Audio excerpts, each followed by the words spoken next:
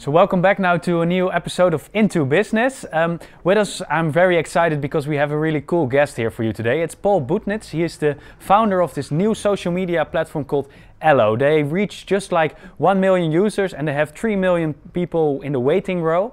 Um, and they just reached also 5.5 million dollars of investment. Paul, can you just briefly explain us what's really your dream for Ello? Uh, well, Ello is a, an ad-free social network um, we also created it uh, to be very simple and very beautiful, and the idea is to really uh, create a network that isn't run by advertisements or by advertisers and where user data is safe. Why is that so important to you? Uh, well, you know, the thing is that in, in a lot of ways, we don't consider networks that support themselves with advertising, especially networks like Facebook, to be social networks at all. We think of them as advertising platforms. I mean, really, if you think about it, the customer at a network like Facebook is the advertiser and the user is the product that's being bought and sold. Yeah. And for us, we just weren't using those networks anymore. They just weren't any fun. We felt manipulated, and in the end, the product wasn't any good. Yeah. And so you really create this fun experience for people because it's, it's quite a, also a new look and feel, huh? Yeah, it's totally new. It's very modern and very simple. It's also designed to act a lot more like an app and a lot le- less like a website. I mean, because we don't really have to think about advertisers, and we built this for ourselves. Initially, we built it just for ourselves and used it private, privately for a year. Um, we got to build the features that we wanted and we don't have anyone looking over, over our shoulders saying we should do this or we should do that because it'll make more money for advertisers. Yeah. And tell me because you you guys are quite reinventing also the business model around social media. Yeah? You you're looking on more like an app store for social media. Yeah, app store and um, services and things like that. I mean, it's really very simple in a way. You get to use Ello for free as long as you want, and you can occasionally buy something that will make your experience a little bit better, and that's a way to support the network. Where, where should I think of? What kind of things can I buy?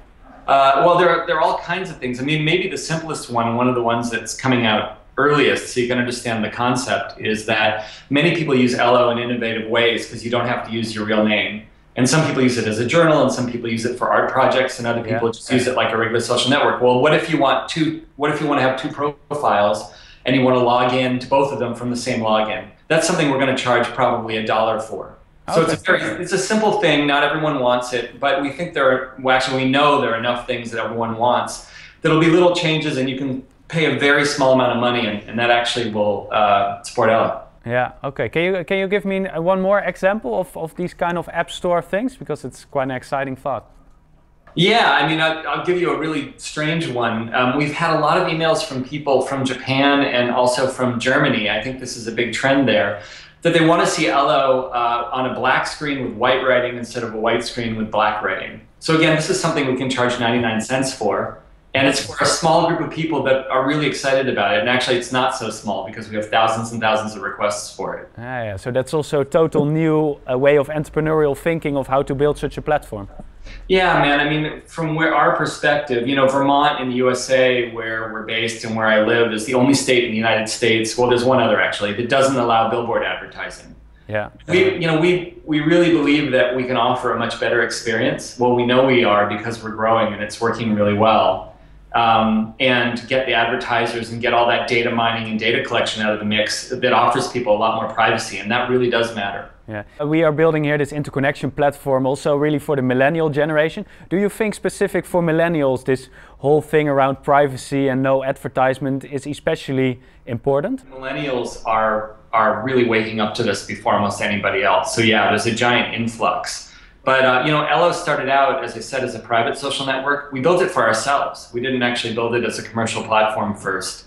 And we used it for almost a year. And, and the first users on Ello were almost all designers and artists because that's who we are. So um, it seems like that population of the create really a creative group of people of all ages is the very strong core of what's going on in Ello right now. Yeah. And Paul, can you can you give me some some small insights more in now the the number game also because I read like four or five months ago you you guys had one million uh, um, subscribers. Huh? Um, uh, what's that number at the moment? You know, we're not we don't publish numbers. We're invitation only, but we're in many multiples of that right now. Okay, oh that's cool. And how is the active user rate? Is it a high active user level?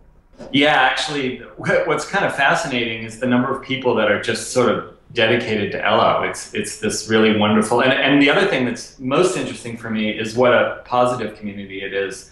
I mean, it's just uh, you know I. This is just an anecdotal thing, but um, you know, I have hundreds of thousands of people following me because I'm one of the founders. Yeah. And you would think I would have to delete people saying bad things every so often, like every other social network. But I've deleted, I think, one comment in the history of Ello so far underneath my posts. I mean, most of the things that people write are positive or interested or uh, engaged. It's just like it's it's really awesome. Great. So you just uh, raised uh, quite a new investment. Um, what are you going to do with that? Well, you know, compare. I think someone compared our entire the entire amount of money we've raised to the amount of money that um, Twitter spends a year on coffee. so we're uh, we're building the network. Yeah. Really, we're, we're building new features. Ello is still in beta, and uh, you need an invitation from someone who's already on the network to get on, and that's a way for us to protect ourselves because there's so much interest that um, we're just keeping it from growing too fast. Yeah. Can you tell me what's uh, what's your dream in the end? Uh, do you see yourself competing really with Facebook, or uh, should you always be a boutique kind of social network? Um, I, I don't. We don't. Again, like we don't really consider Facebook competition. We don't, and we're not actively saying people should leave Facebook or anything like that. It's we don't really consider it a real social network at all. So for us, we're just trying to build the best social network that we ourselves want to use and that's already working. We have so many people doing so many wonderful things on it. We're just excited. Yeah. Hey, and Paul, just as a last last question from an entrepreneurial stand of view, you are a CEO, of course, but I saw you have also a really cool bike company. Yeah? How, how is that a consideration? Because when I speak always with investors, they say always like you have to go full force for it. When do we see you go full one-on-one -on -one for uh, Ello as CEO? Well, I'm full force with everything. You know, I lived in Amsterdam for almost a year and uh, started my bicycle company right after I came home. We build city bikes, and I'm quite passionate about cycling. So uh, I have two companies. I have a lot of help for what I do, and it seems to be working out great for everything. So until that is a problem, I'm just going to keep doing everything I do. Uh, great. Do you have a last advice for our uh, vlogging community? If you want to build a social network, what should you do? Yeah, you should. Um, not listen to everybody that says it's an absolutely stupid idea and that Facebook and all the other big social networks have already won. I think it's important that we're that we're willing to take risks, uh, even in the face of giant companies who seem to have um, taken over the entire market, but may not be providing the best thing for everybody. Oh, great. Paul, thanks so much. I really uh, enjoyed this conversation.